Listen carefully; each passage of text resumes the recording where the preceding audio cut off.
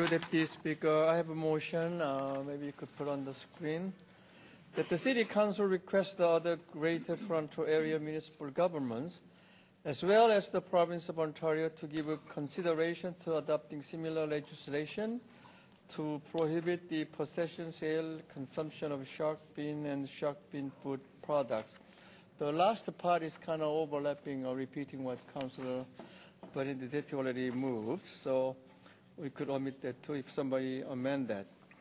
Uh, first of all, I'd like to thank the uh, two councillors, Councillor Christine Wong Tam, Councillor Glenn De Baeremaeker taking great leadership. Uh, and I understand the concern that uh, our deputy mayor says, uh, you know, what if it becomes all legal uh, fight and it cost the taxpayers money, and I will address that point too. You know, as we know, we human beings are very self-centered and very selfish creature. So we are very subjective. If it's a good thing for us, we don't care. We just take, whether it's food, whether it's a property, whether it's the environment. It's extremely important that uh, today this council, City of Toronto Council, approve this uh, recommendation and send a message to all around the world, not just the nearby uh, municipalities. You know, I just heard that, I didn't know, but I heard that the Councillor Krista Wong Tam said the thousands of uh, calls of uh, sharks in the water. And I'm not surprised. Human beings, we have the highest intelligence, and we abuse our highest intelligence to become so selfish to make more money. They don't care about 10 years from now or 200 years from now as long as I make money come into my pocket. That's human beings overall.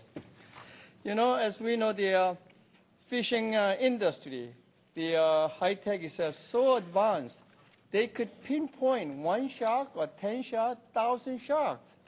So it's not no time to talk about the tradition. This is my grandchildren's wedding, or this is my grandparents' birthday. Tradition important, but if it's against the environment, we have to go and take that route, not the selfish.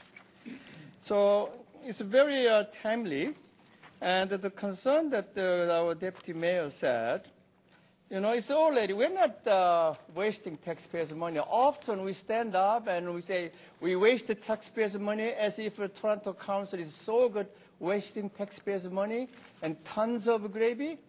And even the uh, outside consultant, they failed to find any gravy, right? We're not wasting taxpayers' money. For example, Mississauga, Brantford, Oakville, they already adopted, okay? Now, Mississauga mayor is the highest uh, opinion poll. I saw the, today's paper. Mississauga doing very good. So now our appendix in the recommendation, there's a grace period the last one, I will read it. Despite Section 2, a person may, prior to September 1, 2012, possess, consume, or sell shark fin or shark fin food products if the shark fin or shark fin food product is lawfully present in the city of Toronto on the day this bylaw comes into force. So we have a grace period almost one year. I cannot expect to see any legal uh, conflicts or wasting taxpayers' money in another year.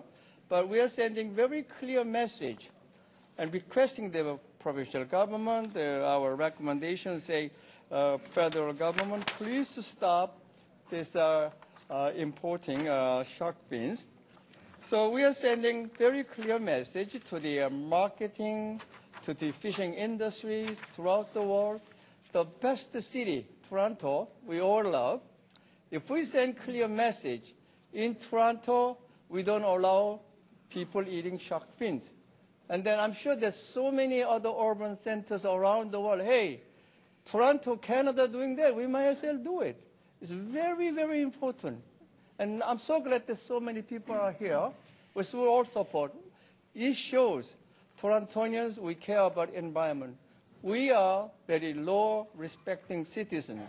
When we move this motion, I don't think uh, the, um, the the municipal license, they're knocking on the doors and, are you eating shark fin? No. I have great respect for Toronto. Councillor Cho, we're at five minutes. Would you like an extension? Let's move this recommendation. I will not uh, support to adopt the uh, councilor, I mean deputy mayor's uh, recommendation. Thank you. Thank you, Councillor Cho.